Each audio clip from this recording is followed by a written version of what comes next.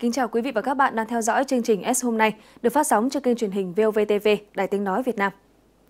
Thưa quý vị, theo số liệu thống kê của Sở Y tế thành phố Hà Nội, hiện trên địa bàn có hơn 3.000 cơ sở hành nghề khám chữa bệnh ngoài công lập, trong đó có 35 bệnh viện, 165 phòng khám đa khoa, 668 phòng trần trị y học cổ truyền, hơn 2.600 phòng khám chuyên khoa, cơ sở dịch vụ y tế. Do công tác quản lý hiện nay tồn tại nhiều bất cập dẫn đến những lỗ hổng trong công tác thanh kiểm tra hoạt động của các cơ sở này. Vụ cháu bé 22 tháng tuổi tử vong trong khi truyền dịch tại một phòng khám tư nhân ở quận Long Biên là một ví dụ. Về tư cách pháp nhân thì phòng khám có giấy phép hoạt động khám bệnh, chữa bệnh. Phạm vi hoạt động được phê duyệt bao gồm có sơ cứu, khám chữa bệnh đối với các bệnh nội khoa. Tức là về lý thuyết thì bác sĩ Nguyễn Thị Kim Cúc được phép truyền dịch cho cháu bé. Tuy nhiên, truyền cái gì và truyền ra sao, ai kiểm soát hoạt động đó thì lại là một câu chuyện khác. Vấn đề vừa nêu cũng chính là nội dung của chuyên mục S tiêu điểm ngày hôm nay của chúng tôi. Để có thể tương tác trực tiếp với chương trình, quý vị liên hệ với chúng tôi thông qua số điện thoại đường dây nóng là 024 3938 6238 hoặc gửi tới hòm thư điện tử shomnaivov.com. Và bây giờ, như thường lệ, xin mời quý vị sẽ cùng theo dõi những thông tin đáng chú ý. Quy định mới về mức đóng bảo hiểm y tế Đắk Nông dạy bài toán thiếu giáo viên, trồng chéo trong quy hoạch cảng hàng hóa và cảng cá tại Bình Định. Thưa quý vị, một vụ hỏa hoạn lớn đã xảy ra sáng nay 24 tháng 10 tại hai nhà xưởng ở thành phố Hồ Chí Minh. Đám cháy đã được dập tắt kịp thời. Thông tin từ người dân khu vực cho biết, vào gần 7 giờ sáng cùng ngày, khói lửa bất ngờ bùng phát dữ dội tại xưởng keo nằm trên đường Nguyễn Văn Cự, quận Bình Tân, thành phố Hồ Chí Minh. Do bên trong chứa nhiều nguyên vật liệu dễ cháy, nên ngọn lửa sau đó lan nhanh và gây cháy lan sang xưởng gỗ nằm kế bên. Trước diễn biến phức tạp của vụ hỏa hoạn, người dân khu vực đã tập trung để chữa cháy ban đầu, đưa tài sản ra ngoài, sau đó phối hợp chặt chẽ với lực lượng chữa cháy chuyên nghiệp quận Bình Tân, triển khai chữa cháy từ nhiều hướng. Sau một giờ đồng hồ, đám cháy đã cơ bản được khống chế. Nguyên nhân và thiệt hại đang được điều tra và làm rõ. Phòng Cảnh sát Phòng cháy chữa cháy và Cứu nạn Cứu hộ thuộc Công an thành phố Hà Nội cho biết, qua kiểm tra, giả soát, đơn vị phát hiện 954 trên 1.586 cơ sở kinh doanh karaoke, vũ trường còn tồn tại, thiếu sót và vi phạm các quy định an toàn về phòng cháy chữa cháy. Trong đó 930 cơ sở có quyết định đình chỉ hoạt động, 5 cơ sở đang tạm dừng hoạt động. Các vi phạm chủ yếu là điều kiện ngăn cháy lan, lối thoát nạn, lực lượng phòng cháy chữa cháy tại chỗ và trang thiết bị không đảm bảo. Ngoài ra có hơn 200 cơ sở dịch vụ văn hóa có hoạt động biến tướng, tổ chức khiêu vũ đông người, sử dụng đồ uống có cồn, có hệ thống đèn chiếu sáng âm thanh công suất lớn trong diện tích nhỏ, tiềm ẩn nguy cơ cháy nổ gây thiệt hại nghiêm trọng. Thưa quý vị, Chính phủ vừa ban hành nghị định quy định chi tiết và hướng dẫn biện pháp thi hành một số điều của luật bảo hiểm y tế, trong đó quy định mức đóng bảo hiểm y tế. Cụ thể, mức đóng bảo hiểm y tế hàng tháng của các đối tượng được quy định như sau bằng 4,5% tiền lương tháng đối với người lao động làm việc theo hợp đồng lao động không xác định thời hạn, hợp đồng lao động có thời hạn từ đủ 3 tháng trở lên. Người quản lý doanh nghiệp, đơn vị sự nghiệp ngoài công lập và người quản lý điều hành hợp tác xã hưởng tiền lương, cán bộ công chức viên chức.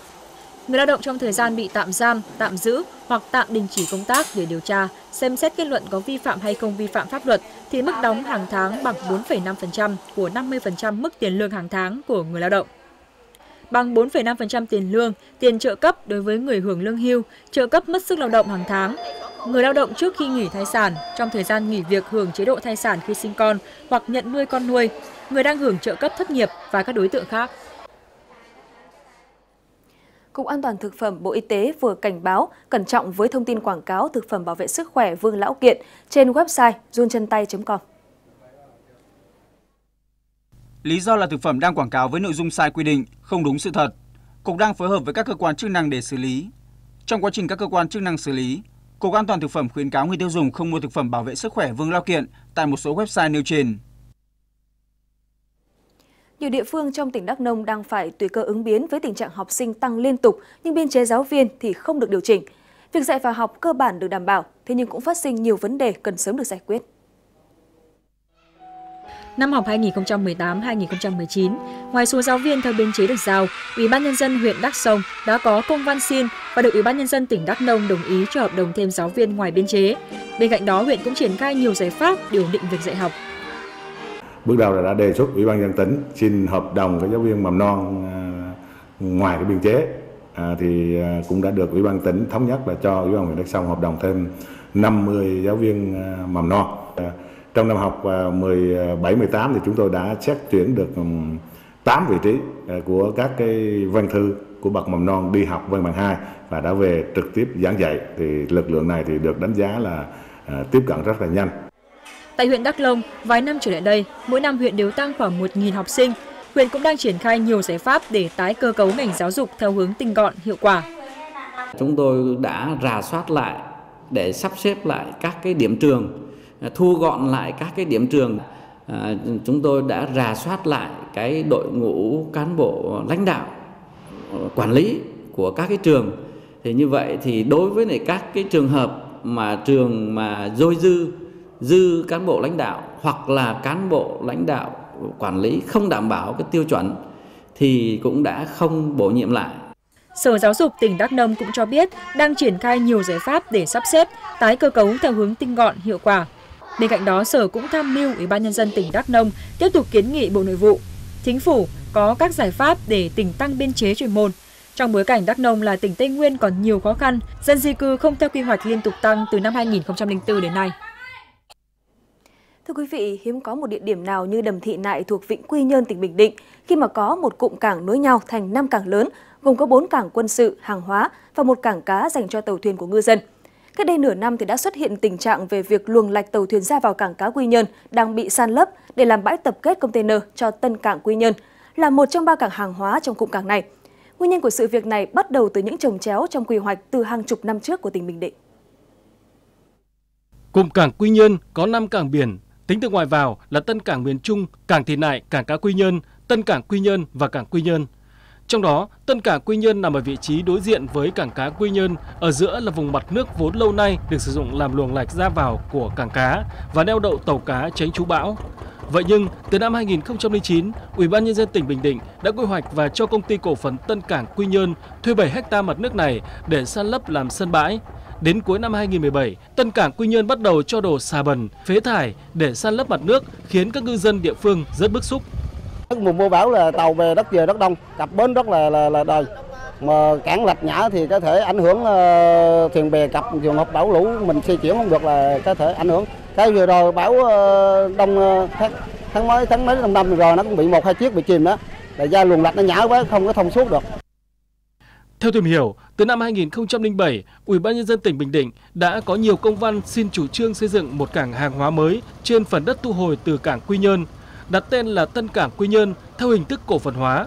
Thời điểm đó, Bộ Giao thông Vận tải có công văn số 8133 chấp nhận chủ trương bổ sung cầu cảng container, quy hoạch diện tích dự kiến 54.263 m2, nhưng lưu ý không làm ảnh hưởng đến cảng cá, đảm bảo an toàn cho tàu thuyền đánh cá về chú bão. Thế nhưng đến năm 2009, Ủy ban nhân dân tỉnh Bình Định lại tiếp tục cho Tân Cảng Quy Nhơn thuê thêm diện tích hơn 70.000 m2 đất mặt nước phía trước cảng cá Quy Nhơn và khẳng định luồng tàu cá ra vào rộng 100 m là đảm bảo an toàn. Trong khi đến nay, vẫn chưa có một tiêu chuẩn hay văn bản nào quy định cụ thể về kích thước luồng lạch đủ đảm bảo an toàn cho các cảng cá.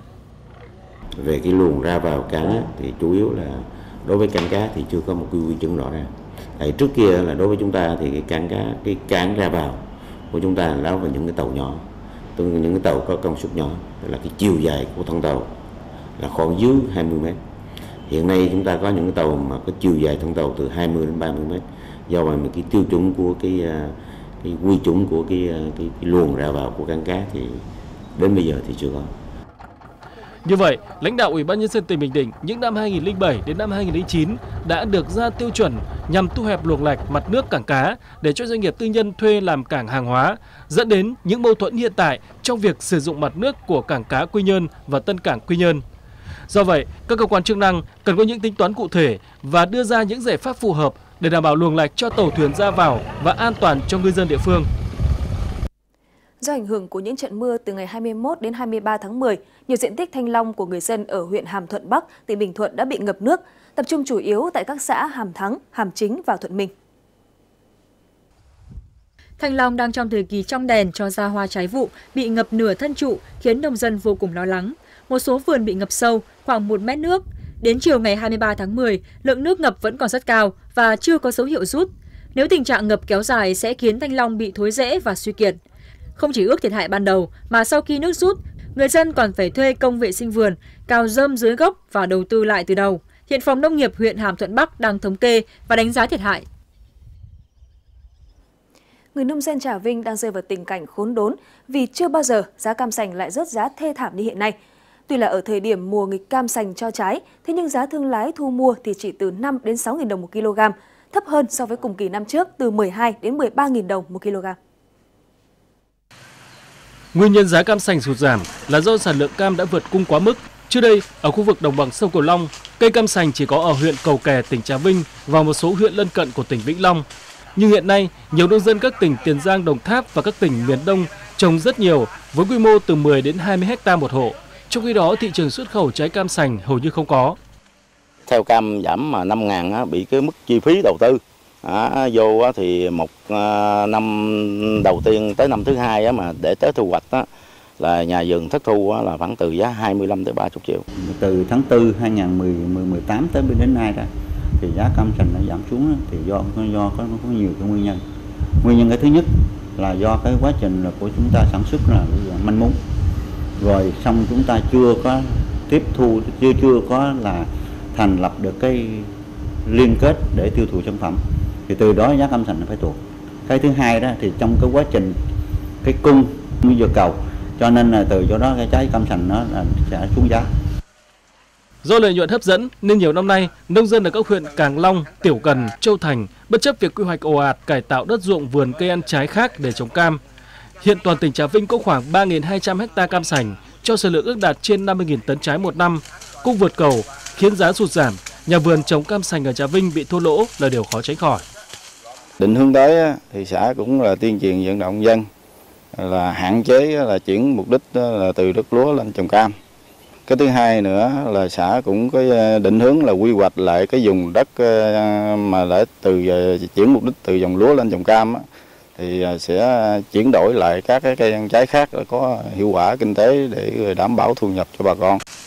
Để khắc phục tình trạng cung vượt cầu, giá thị trường giảm thấp, các cơ quan chức năng khuyến cáo nhà vườn trồng cam sành nên tham gia vào các hợp tác xã, tổ hợp tác sản xuất để dễ liên kết tìm thị trường tiêu thụ ổn định. Đặc biệt, sản xuất theo hướng thực hành nông nghiệp tốt và hướng hữu cơ sinh học để được sản phẩm sạch, an toàn, nâng cao hiệu quả sản xuất và bảo vệ sức khỏe cộng đồng.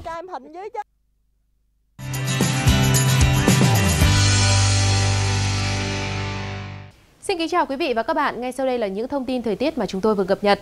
Trong hôm nay do tác động của khối không khí lạnh nên ở các tỉnh Bắc Bộ vẫn có mưa rải rác, lượng mưa giảm đáng kể so với ngày hôm qua. Mưa tập trung ở khu vực Tây Bắc và Đồng bằng Bắc Bộ, trời lạnh về đêm và sáng sớm với nền nhiệt thấp nhất phổ biến trong khoảng từ 20 đến 23 độ, vùng núi có nơi từ 18 đến 20 độ. Ban ngày mưa giảm, trời có lúc hứng nắng, nhiệt độ dao động từ 26 đến 29 độ. Tại khu vực Hà Nội, ban ngày mưa giảm dần, có lúc nắng nhẹ, nhiệt độ giao động ở mức là 27 đến 28 độ. Tại các tỉnh từ Thanh Hóa đến Thừa Thiên Huế mây thay đổi, chiều tối và đêm có mưa rào và rông vài nơi, ngày nắng, nhiệt độ thấp nhất từ 23 tới 26 độ. Tại khu vực Đà Nẵng đến Bình Thuận, đêm có mưa rào và rông vài nơi, ngày nắng, riêng phía Nam chiều tối và đêm có mưa rào và rông rải rác. Trong cơn rông có khả năng xảy ra lốc xét và gió giật mạnh, nhiệt độ giao động từ 23 tới 33 độ. Tại khu vực Tây Nguyên trời nhiều mây, chiều tối và đêm có mưa rào và rông vài nơi, ngày nắng, sáng và đêm trời lạnh khi nhiệt độ ở mức là 19 đến 22 độ. Tại các tỉnh Nam Bộ, chiều tối mai trời nhiều mây, có mưa rào và rông rải rác. Trong cơn rông có khả năng xảy ra lốc, xét và gió giật mạnh, nhiệt độ cao nhất là từ 30 đến 33 độ.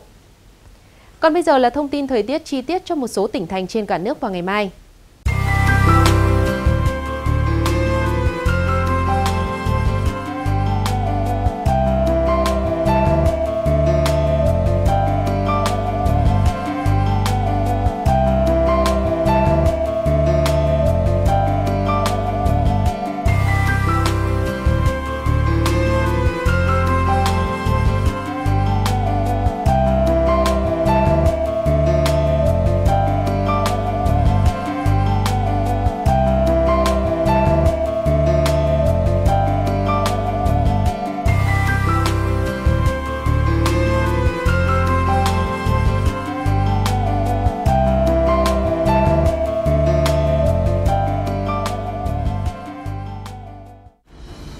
Địa bàn thành phố Hà Nội có hơn 3.000 cơ sở hành nghề khám chữa bệnh ngoài công lập, nhưng công tác quản lý phạm vi hoạt động của các cơ sở này vẫn còn nhiều bất cập.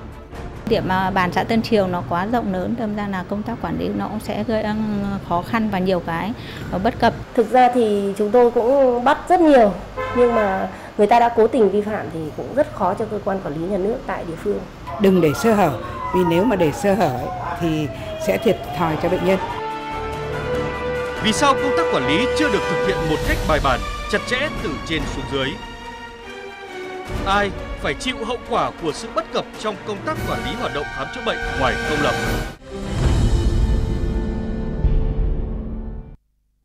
Thưa quý vị, trước khi xảy ra vụ việc cháu bé 22 tháng tuổi tử vong trong khi truyền dịch tại phòng khám ở quận Long Biên, thì còn nhiều trường hợp đáng tiếc khác nữa. Đơn cử như là vụ thai phụ bị chết não trong quá trình khám phụ khoa ở phòng khám đa khoa 168 Hà Nội, hay là trường hợp một phụ nữ tử vong sau khi nhổ răng khôn ở Hải Phòng vào hồi tháng 3 năm nay. Những vụ việc vừa nêu báo động tình trạng thiếu quản lý hoạt động khám chữa bệnh tại các cơ sở khám chữa bệnh tư nhân. Và phần tiếp theo của chương trình, xin mời quý vị cùng theo dõi cuộc trao đổi của chúng tôi với khách mời của chương trình ngày hôm nay. Xin được trân trọng giới thiệu Phó giáo sư tiến sĩ Lê Văn Thảo, Chủ tịch Hội hành nghề y tư nhân thành phố Hà Nội. Xin chào MC Phương Anh, xin chào tất cả khán giả truyền hình. À, vâng, xin cảm ơn ông đã dành thời gian để chia sẻ với chương trình ngày hôm nay. Thưa quý vị, để có thể tương tác trực tiếp với chương trình cũng như là khách mời của chúng tôi và phản ánh bất cập trong đời sống, quý vị có thể liên hệ thông qua số điện thoại đường dây nóng là 024 3938 6238 hoặc gửi tới hòm thư điện tử shomnaivov.gmail.com. Thưa quý vị, những bất cập trong công tác quản lý hoạt động khám chữa bệnh tư nhân tồn tại chủ yếu là do chức năng, nhiệm vụ của cơ quan quản lý các cấp chưa hợp lý. Điều này vô hình chung tạo ra những kẽ hở khiến cho việc thanh kiểm tra rất khó thực hiện hoặc nếu có thì cũng không để không đủ để có thể hạn chế những nguy cơ có thể xảy ra trong quá trình thực hiện. Phòng khám nha khoa này đăng ký hoạt động ngoài giờ hành chính. Vị bác sĩ đứng tên trên giấy phép kinh doanh hiện công tác ở một bệnh viện lớn ở thủ đô. Tuy nhiên, phòng khám này lại mở cửa tiếp đón bệnh nhân ngoài khung giờ đăng ký với Sở Y tế với lý do nghe có vẻ rất thuyết phục.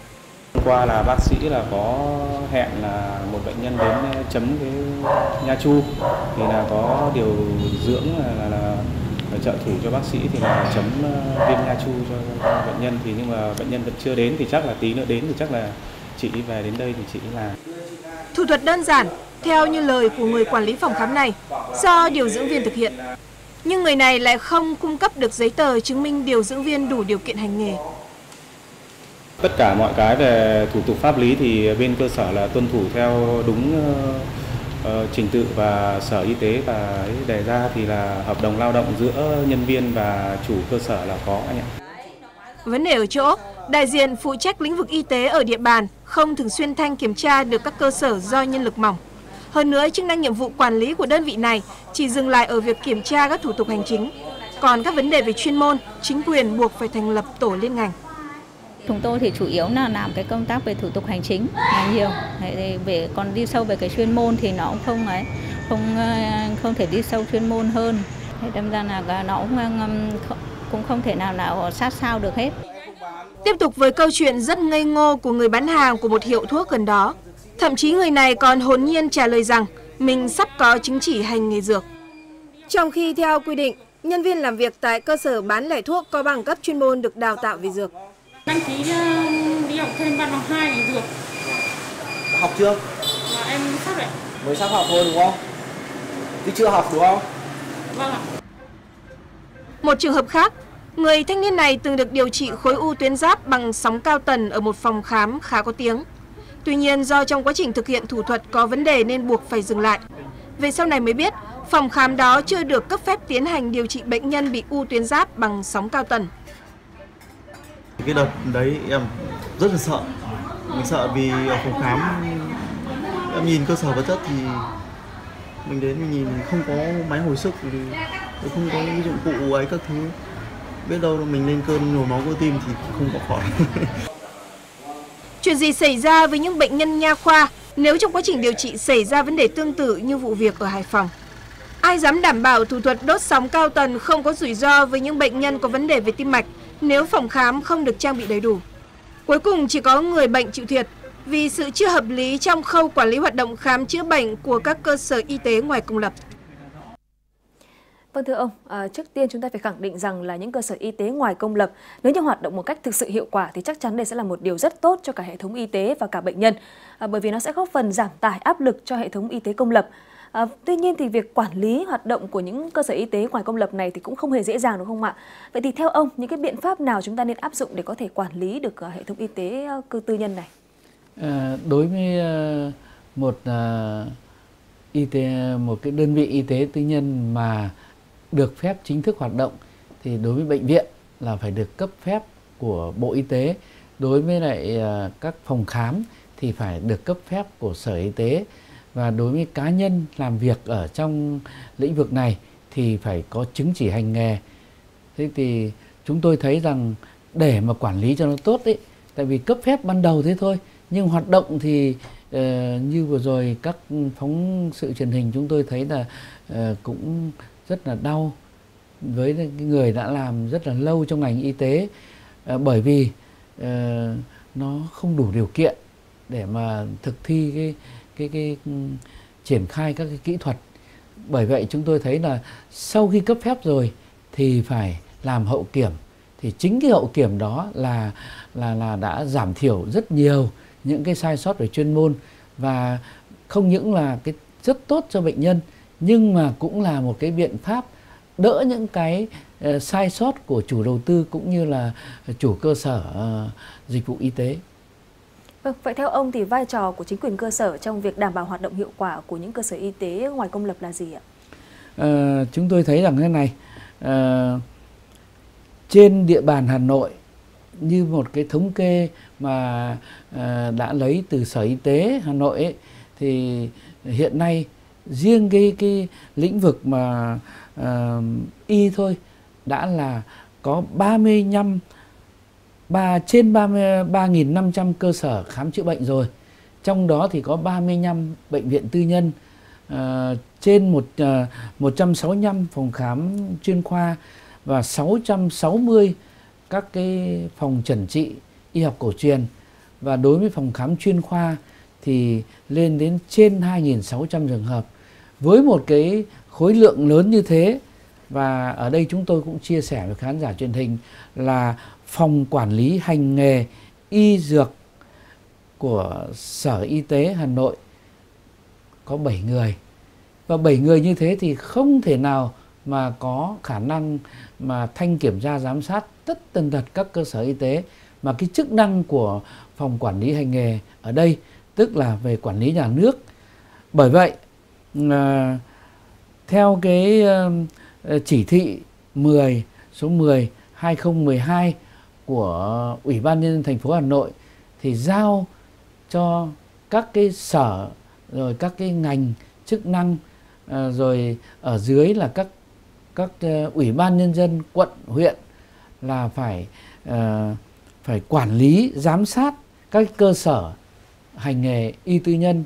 Và trên cơ sở các giao đến quận huyện như thế thì quận huyện phải có cái vai trò tức là um, giao cho các cái phòng uh, phòng y tế của trực thuộc quận huyện đấy uh, là đầu mối để tập hợp những cái uh, phòng ban chức năng của các cái um, các cái các cái phòng ban chức năng mà có liên quan trong quận huyện đấy để phối kết hợp và chỉ đạo các cái phòng uh, uh, trạm y tế xã rồi uh, rồi rồi phòng uh, uh, trạm y tế xã phường. Như thế thì thì mới có cái cả một cái hệ thống vào cuộc thì mới có thể làm tốt cái chức năng giám sát uh, những cái đơn vị hành nghề y tế tư nhân. Dạ vâng, xin được cảm ơn ông ạ. À, thưa quý vị, sự không hợp lý trong công tác quản lý ảnh hưởng rất nhiều tới hoạt động khám chữa bệnh của các cơ sở y tế ngoài công lập nói chung. Người bệnh nói riêng thì cũng phải đối mặt với nguy cơ tiền mất tật mang rất lớn. Trước tiên hãy nghe câu chuyện của một nhân viên từng làm việc tại một phòng khám tư nhân. Đối với họ, lợi nhuận được đặt lên hàng đầu. Những cái gọi là lương tâm y đức gần như không có giá trị trong cuộc cạnh tranh rất khốc liệt trong lĩnh vực khám chữa bệnh, đặc biệt với các cơ sở y tế tư nhân. Bệnh thì nhẹ cho thành... Đúng rồi. Ở đấy đâu có thế không? Tất cả đâu cũng thế Đâu cũng thế hết. Đang làm gì đó mẹ nuôi con người ra ra cắt vào quy đầu hết. Ai cũng cắt vào quy đầu? Tuy nhiên nó không không bao quy đầu nó bình thường nó cũng cắt bao quy đầu không bình thường cắt cắt nó phải nó cắt nó phải ra tiền chứ cắt thì bình thường nhưng nó chỉ cắt một tí thôi ừ. còn bất thường nó cắt ừ, đầy đủ Tiếp theo, những gì người thanh niên này thuật lại hoàn toàn trùng khớp với những gì vừa nêu. Người bệnh đến khám không cần quan tâm đến mức độ nặng nhẹ, đều chỉ định thực hiện thủ thuật. Bác sĩ thì cũng chuẩn đoán là cũng cũng bảo là cái cái hẹp bao quy đầu của tôi là phải à, phẫu thuật. Thì là cái chuyện này thì nó cũng bình thường. Thì tôi nghĩ là là là ok thì tôi, tôi cũng làm thôi. Ờ, cũng ít lâu sau thì anh em ngồi bia rượu nói chuyện với nhau thì có mấy anh em trao đổi thì bảo là như thế là hơi đắt. Thì có một số chỗ thì ừ, rẻ hơn và thậm chí là là không phải phẫu thuật. Thì tôi mới có tìm hiểu. Thì có một người bạn là bác sĩ thì có trao đổi là cái vấn đề mà hẹp bao của tôi thì thực ra nó không nhất thiết là phải phẫu thuật mà chỉ cần vệ sinh sạch sẽ là ok. Quay trở lại với bệnh nhân điều trị u tuyến giáp bằng sóng cao tần không thành công ở một phòng khám tư nhân. Người này suýt chút nữa mất một khoản tiền không nhỏ so với điều kiện kinh tế của bản thân. Cũng suýt chút nữa đánh mất cơ hội được điều trị cẩn thận, chu đáo, đúng cách. Bác sĩ nói với em là cái ca của em ấy thì phải đốt ít nhất là 3 lần. 3 lần thì ngoài phòng khám sẽ là 30 triệu. 30 triệu đồng. Bệnh viện Bạch Mai thì ờ, như hôm qua bác sĩ Lâm nói thì thì cố gắng đốt cho một lần. Cố gắng đốt cho một lần là là khỏi đấy ạ. Thì uh, là chi phí tổng cả mua kim lẫn ờ, nhập nhẫn ờ, thủ tục đốt các thứ là gần 20 triệu vấn đề phòng khám ngoài công lập cũng như là các bệnh viện công thôi tức là cái vấn đề an toàn cho bệnh nhân là cái rất là cơ bản. Tại vì cái an toàn bệnh nhân là cái đứng đầu. Nhưng muốn có an toàn bệnh nhân thì cái người thầy thuốc lại phải có đức có lương tâm để mà được cho bệnh nhân là um, cần làm cái gì và khám xét kỹ càng để cho chẩn đoán được bệnh đừng để sơ hở vì nếu mà để sơ hở thì sẽ thiệt thòi cho bệnh nhân Người bệnh hàng ngày phải đối mặt với nguy cơ tiền mất tật mang vì lòng tham của một bộ phận các cơ sở y tế ngoài công lập. Khi mà công tác quản lý chưa chặt chẽ, khi mà lương tâm y đức chưa được coi trọng, có lẽ những trường hợp đáng tiếc còn xảy ra. Như cậu bé vừa 22 tháng tuổi ở Long Biên mới đây, như thai phụ tại phòng khám 168 Hà Nội, hay người phụ nữ tử vong sau khi nhổ răng ở Hải Phòng. Vâng, thưa ông, à, theo ông thì bên cạnh lương tâm y đức là những điều chắc chắn phải có từ những y bác sĩ, thì điều quan trọng nhất đối với các phòng khám, các cơ sở y tế tư nhân hiện nay là gì ạ?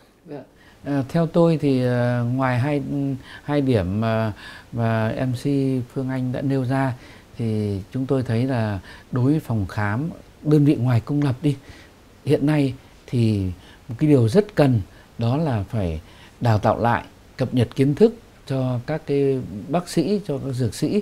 Ờ, lý do tại sao? Tại vì các bạn đồng nghiệp của tôi có cái thời gian làm việc ở trong ngành y rất lâu nhưng mà do cái quá trình nghỉ chế độ do đó không cập nhật được do đó thì cần phải được đào tạo lại. Thì cái đấy thì ờ, đơn vị chúng tôi là uh, hội hành nghề y tư nhân thành phố Hà Nội chúng tôi thường xuyên là làm cái nhiệm vụ đó cho các bác sĩ dược sĩ. Dạ vâng. À, còn đối với bệnh nhân thì sao ạ? họ là những người có bệnh và họ cũng vì cái mong muốn mong muốn được chữa bệnh một cách nhanh chóng và hiệu quả mà họ mới tìm đến cái phòng khám tư nhân với cái chi phí đã đảo hơn rất là nhiều. Vậy thì à, theo ông thì về phía người bệnh họ sẽ cần phải lưu ý điều gì để công tác khám chữa bệnh của dạ. họ cũng thực sự à, chúng tôi thấy là cái lưu ý quan trọng nhất đó là phải đến những cái bệnh viện rồi phòng khám đã được Bộ Y tế đã được Sở Y tế Hà Nội cấp phép như thế thì nó sẽ đảm bảo một cách tương đối cho uh, cho cho bệnh nhân. Ngoài ra thì cần lưu ý một là uh, khi dùng đơn thuốc là phải do bác sĩ cấp chứ không nên dùng uh, gọi là với kinh nghiệm uh, cá nhân của các uh, người bán thuốc ở trong các hiệu thuốc ấy tư vấn tại vì bây giờ điều trị bệnh nhân là nó gọi là cá thể hóa một cái trường hợp Ờ, phế quản phế viêm hoặc uh, suy thận hoặc là tiểu đường thì mỗi bệnh nhân có một cái phác đồ điều trị khác nhau. Thì những người bán thuốc người ta chỉ quen là là thấy dùng cái thuốc cái tốt thì hướng dẫn thôi. Chứ còn bây giờ chúng tôi điều trị là phải cá thể hóa từng bệnh nhân có phác đồ khác nhau. Vấn đề thứ hai là không nên quá tin vào những cái quảng cáo. Tại vì phải thực tế mình thấy người ta uh, khám chữa bệnh chuẩn lúc giờ À, hãng hãng lên vào. Chứ còn quảng cáo rất hay, nhưng thực tế là là không đạt được cái yêu cầu. Vấn đề thứ ba là đối với thực phẩm chức năng, bây giờ là dùng rất nhiều, thì chúng tôi có khuyến cáo là những cái gì đã đã được cục an toàn vệ sinh thực phẩm, bộ y tế công bố phù hợp với sản phẩm đó à, công bố về về về cái điều kiện tiêu chuẩn sản phẩm đó, hãng nên dùng. Chứ còn không nên nghe qua người này khác dùng thì lợi bất cập hại. Vâng, như vậy là người bệnh họ cũng sẽ phải có tự trách nhiệm với cái sức khỏe của chính mình, đúng không ạ? À, vậy thì à, còn đối với các cơ quan chức năng thì sao ạ? Từ những uh, cấp chính quyền cơ sở địa phương cho đến các sở ngành y tế địa phương và cả cơ quan chức năng của nhà nước thì sẽ cần phải có những cái động thái như thế nào để chúng ta nâng cao hiệu quả khám chữa bệnh của các uh, phòng khám uh, cũng như cơ sở y tế ngoài công lập? Ừ. À, như chúng tôi đã trao đổi thì uh, vấn đề uh, thanh kiểm tra giám sát là cái điều rất là quan trọng và cái đó tại vì quy định của nhà nước mình ấy là không nếu mà bình thường thì không được ờ, kiểm tra giám à, kiểm tra thanh kiểm tra uh, quá một lần trong một năm trừ những trường hợp đặc biệt có xảy ra sự cố. Nhưng mà nếu như chúng ta phát triển à, chúng ta làm chuẩn vấn đề giám sát tức là chúng tôi chỉ góp ý đúng sai thôi chứ không phải là phạt như là đi kiểm tra thì cái đấy cũng rất hiệu quả. Nhưng mà muốn hiệu quả hơn nữa thì phải tất cả các ban ngành phải vào cuộc từ sở y tế sở uh, về cái uh, sở môi trường rồi quản lý thị trường ở dưới là các quận huyện dưới nữa là các phòng y tế rồi các trạm y tế. Thì đến đâu thì phải có cả một cái hệ thống ấy phối hợp kiểm tra giám sát và nhất là giám sát tăng cường vấn đề giám sát lên. Thì chúng tôi thấy là là là sẽ bản thân những cái chủ đầu tư và những cái chủ cái cơ sở y tế đó người ta cũng cũng thấy là giám sát liên tục cái này. Vì giám sát thì không quy định không không không không bắt buộc là không được giám sát nhiều lần. Thế thì nhắc nhở người ta để người ta có cái thái độ đúng với lại cái công việc. Vì sức khỏe con người là rất quan trọng do đó giám sát là nhắc nhở người ta được nhiều hơn. Vâng và nếu có điều kiện thì uh, theo nghị định 170 của chính phủ thì vấn đề uh, giám sát về chấp hành pháp luật trong y tế là đã được nêu lên và cái đó là các cái hội nghề nghiệp, hội chính trị xã hội nghề nghiệp là có quyền tham gia giám sát về pháp luật về y tế. Uh, uh, cũng thưa với khán giả truyền hình là uh, nếu như được các cái cơ quan chức năng có thẩm quyền mà cho phép thì các hội nghề nghiệp cụ thể ở đây là hội y học Hà Nội có đủ cán bộ uh, có trình độ chuyên môn có thể tham gia cùng với các cơ quan chức năng để tham gia giám sát. À, năm 2017 thì mặt trận Tổ quốc Việt Nam theo cái nghị định của một, ờ, một, 172 đó thì đã cử ờ, Hội Y học Hà Nội giám sát về chấp hành về, về vấn đề nghiên cứu khoa học của Sở Y tế Hà Nội.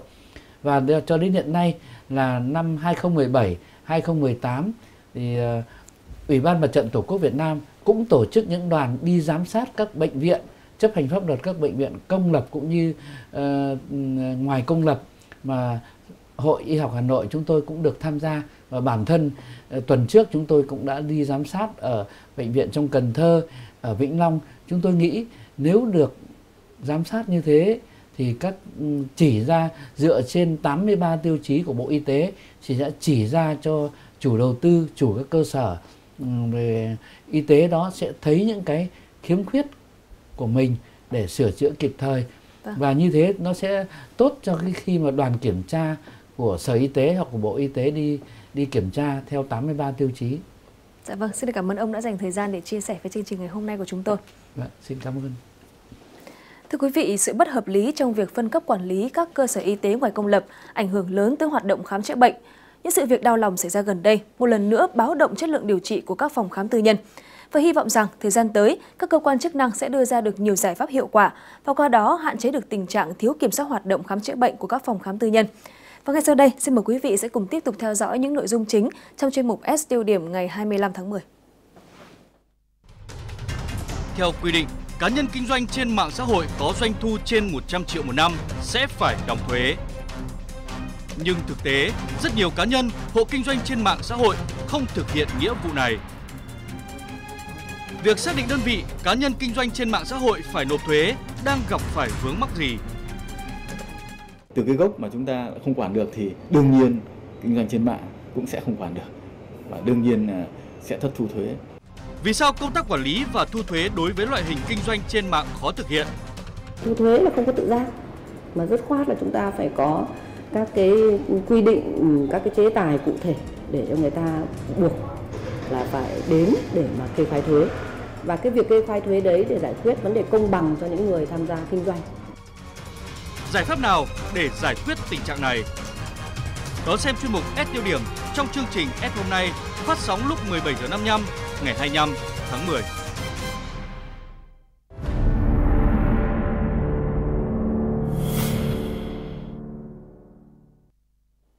Thưa quý vị, trong những năm qua đã có hàng vạn trẻ sinh non và mắc các bệnh lý nguy hiểm được cứu sống, nuôi dưỡng khỏe mạnh, trở về cho niềm hạnh phúc của gia đình.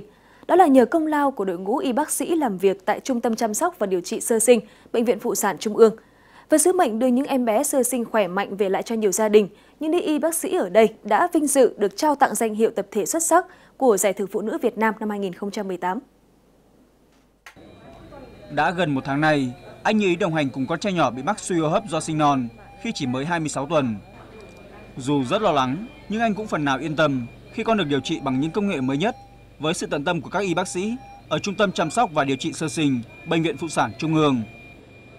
Khi mà chuyển xuống dưới khoa này ấy, thì cũng nhờ là các bác sĩ và các chị cô y tá cũng như là điều dưỡng ấy, chăm sóc các con hết hết sức là tận tâm. Thế cho nên là con cũng chuyến biển biến chuyển rất là tốt. Chỉ có khoảng độ sau 3 tiếng là bắt đầu đã đo được nhịp tim của con rồi. Và bây giờ là à, đến hôm nay là được ờ, gần à, 3 tuần 20 24 24 ngày thì là con cũng đã uh, tự thở được và không phải không phải cắm ống thở nữa. Cả trung tâm chăm sóc và điều trị sơ sinh, bệnh viện phụ sản Trung ương có 155 cán bộ y bác sĩ, trong đó có 144 người là nữ. Hàng ngày tiếp nhận 20 đến 30 trẻ, với 30% trẻ sinh non dưới 39 tuần. Nhiều bé chỉ nặng khoảng 600 đến 700 gram, mỗi nhịp thở khó nhọc. Để duy trì sự sống cho những em bé này, bên cạnh việc ứng dụng thành công những công nghệ tiên tiến nhất, tập thể y bác sĩ ở đây phải rất tận tâm. Và khi chăm sóc các con thì bao giờ mọi người cũng phải đặt tình cảm, không khác gì con mình, cháu mình ở nhà. Khi một ờ, một người chăm sóc mà có cái tâm cái tấm lòng đối với như con mình thì họ mới có thể làm tốt được công việc và đem lại những cái hiệu quả cao cho người bệnh. Mỗi khi mà em bé mà điều trị thành công và ra viện thì bọn mình rất là vui và cảm giác như là đứa con của mình sau khi ốm xong nó khỏe lại thì nhìn thấy gia đình vui vẻ thì bọn mình cũng rất là vui. Cái đấy là cái cái công việc của mình như gần như là thở phào nhẹ rõ mà em bé đã xong rồi đã khỏe mạnh rồi. Nụ cười hạnh phúc của những người làm cha làm mẹ khi đón em bé trở về sau những ngày dài điều trị. Đó cũng là niềm vui của những nữ bác sĩ ở đây, những người mẹ sinh ra em bé lần thứ hai. Nội dung vừa rồi cũng đã khép lại chương trình ngày hôm nay của chúng tôi. Cảm ơn quý vị và các bạn đã quan tâm theo dõi. Xin kính chào và hẹn gặp lại.